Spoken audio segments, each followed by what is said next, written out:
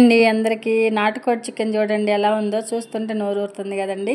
ఇలా ఎలా చేసుకుందామో ఎలా చేయాలో ఒకసారి చూపిస్తానండి. ఇటు ఫస్ట్ అల్లం పేస్ట్ అండి. అల్లము ఎల్లిపాయలు ఉల్లిపాయ అండి. ఇట్లా కాల్ చేసి మంచిగా ఇంతకుముందు అంటే కట్టెల పొయ్యిలు ఉండబట్టి కట్టెల పొయ్యిలలో కాల్చుకొని ఇట్లా వండేవాళ్ళు అమ్మమ్మలు నానమ్మలు అమ్మలు. అయితే ఇప్పుడు మాత్రం మనకు కట్టెలు లేవు కదండి. అందుకే ఇట్లా కాల్చుకుందామండి. కాల్చుకొని పైన పొట్టంతా తీసేసి తర్వాత అల్లము ఎల్లిపాయలు నూరానండి ఫస్టే. నూరుకున్న తర్వాత ఇక ఉల్లిపాయలు వేసి ఉల్లిపాయ కూడా అంటే మిక్సీలో కూడా పట్టుకోవచ్చు కానండి. కాకపోతే మిక్సీలో పడితే అంత టేస్ట్ రాదండి. నాటుకోడికి రోట్లోనే నూరాలి.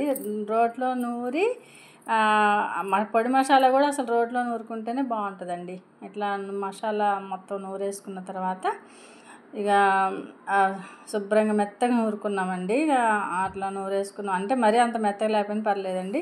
ఇక ఇప్పుడు చికెన్ అండి కేజీ చికెన్ అండి. కేజీ నాటుకోడి చికెన్ అండి. అయితే దీంట్లో ఫస్ట్ ఇది రెండు మూడు సార్లు కడిగానండి వాటర్ పెట్టి. కడిగిన తర్వాత కొంచెం ఒక స్పూన్ పసుపు ఒక స్పూ రెండు ఒక స్పూను సాల్ట్ అండి. ఓ రెండు స్పూన్లు కారం అండి. రెండు స్పూన్లు కారం వేసానండి.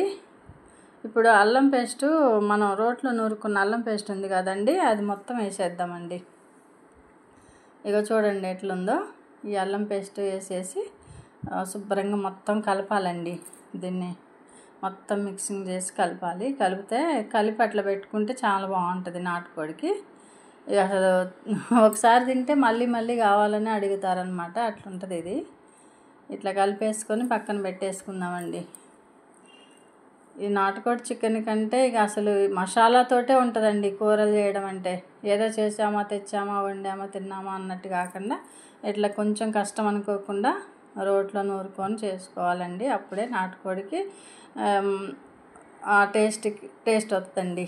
తర్వాత ఇగో గిన్నె పెట్టుకున్నానండి. రెండు గంటలు ఆయిల్ వేసానండి.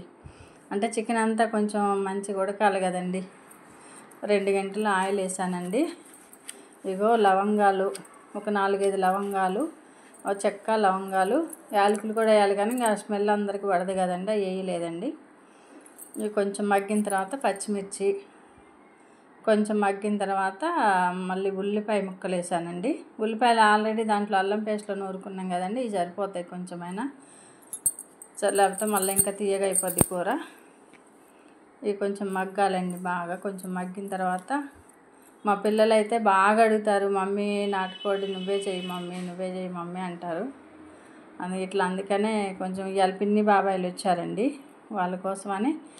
ఇక ఈరోజు సండే కూడా ఇక స్పెషల్ చేసినట్టు ఉంటుందని ఇట్లా వండుతున్నా అండి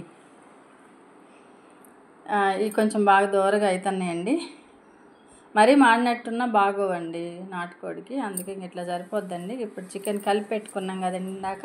ఆ చికెన్ మొత్తం వేసేస్తున్నానండి. చికెన్ కేజీ చికెన్ కదండి. కేజీన్నర కోడి తీసుకొస్తే ఆ వేస్ట్ అంత అయిన తర్వాత కేజీ అయిందండి. ఇంట్లోనే కట్ చేశారు మా వారు. ఇట్లా అయిందండి. దీన్ని కొంచెం ఇట్లా మొత్తం కలపాలండి. కలిపేసి ఇట్లా మామూలుగా ఇంకా కొంచెంసేపు ఒక ట్వంటీ మినిట్స్ దాకా సిమ్లో పెట్టి ఉడికించాలండి. సిమ్లో చూసారా? ఇక ట్వంటీ మినిట్స్ అయిపోయింది. సిమ్లో పెట్టి మంచిగా ఉడికింది కదండి. ఒకసారి తిప్పుకుందాం మళ్ళీ. మొత్తం కిందకి మీదకి ఒకసారి తిప్పేస్తే బాగుంటుంది. మంచిగా కలిసి ఉడికిద్ది కింద మీద. కొంచెం ఉడికిన తర్వాత ఒక పెద్ద సైజు టమాటా అండి. టమాటా ముక్కలు కోసేసి అంటే ఒక కప్పు పెద్ద పెద్ద సైజు టమాటా ముక్క. ఎందుకంటే నాటుకోడికి మంచి సూప్కి టేస్ట్ వచ్చింది అనమాట టమాటా ముక్కలు వేస్తే ఇక మళ్ళీ ఒక టెన్ మినిట్స్ మళ్ళీ సిమ్లో పెట్టుకుందామండి. ఇక సిమ్లో పెట్టి తీసాను చూడండి ఎంత బాగా ఉడికిందో టమాటా. టమాటా అసలు మనం తిప్పలేదు కదండి. చూడండి ఎంత చక్కగా ఉడికిందో.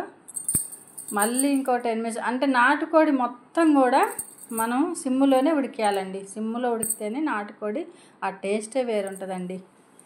అయితే ఇప్పుడు మళ్ళీ ఇంకొక టెన్ మినిట్స్ మళ్ళీ పక్కన పెట్టేసుకుందామండి. మళ్ళీ టెన్ మినిట్స్ తర్వాత ఒకసారి చూడండి మళ్ళీ ఎలా ఉందో.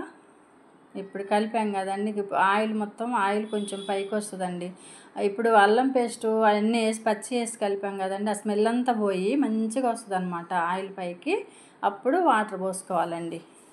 అంటే మన చూపుకి మనకి ఎంత అయితే చూపు కావాలో అంత పోసేసుకోవచ్చండి దీంట్లో. అంటే మరీ ఎక్కువ కాదులే కానీ ఒక లోట వరకు పోసుకోవచ్చు.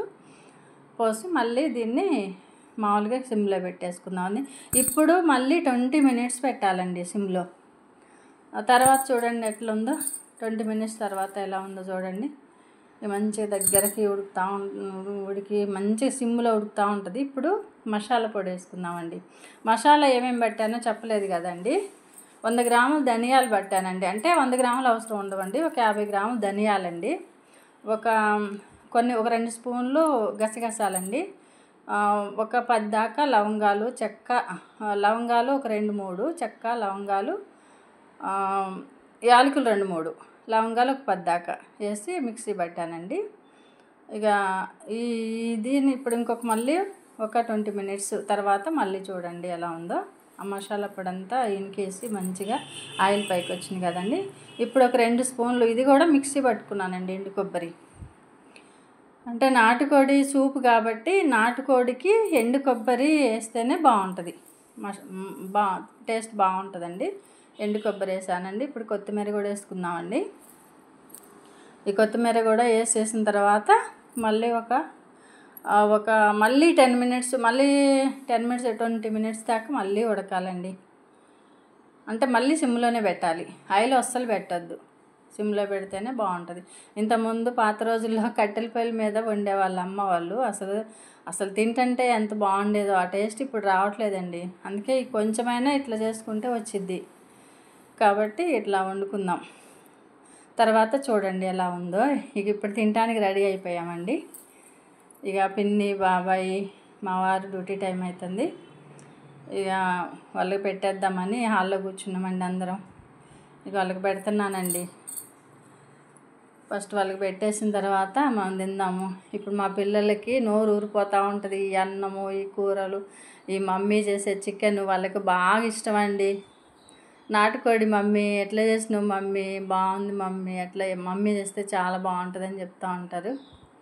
వాళ్ళకి వాళ్ళకి నోరు ఊరిపోతూ ఉంటుంది. పిల్లలు ఇక్కడ లేరండి. వాళ్ళు జాబు జాబులు చేసుకుంటున్నారు.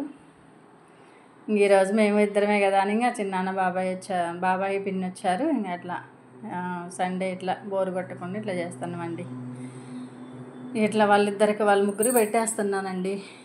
వాళ్ళ ముగ్గురు తిన్న తర్వాత అప్పుడు నేను తింటానండి. ఇక మనకు ఒక ఆనవాయితీ ఉంది కదా మగవాళ్ళకి ముందు పెట్టి తర్వాత ఆడవాళ్ళు తినాలనేది. అది కొంచెం అప్పుడప్పుడు మనం పాటిస్తుంటే మనం చూసి పిల్లలు కూడా పాటిస్తారని నా అభిప్రాయం అండి. ఇట్లా వాళ్ళ ముగ్గురికి పెట్టేశాను.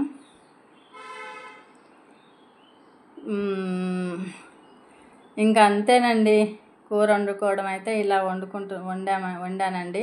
నచ్చిన వాళ్ళు లైక్ చేయండి షేర్ చేయండి సబ్స్క్రైబ్ చేయండి. మా మా ఛానల్ని సపోర్ట్ చేయండి. ప్లీజ్ లైక్ అండి. ఓకే అండి. ఈరోజు సండే స్పెషల్ ఇలా అయిపోయిందండి.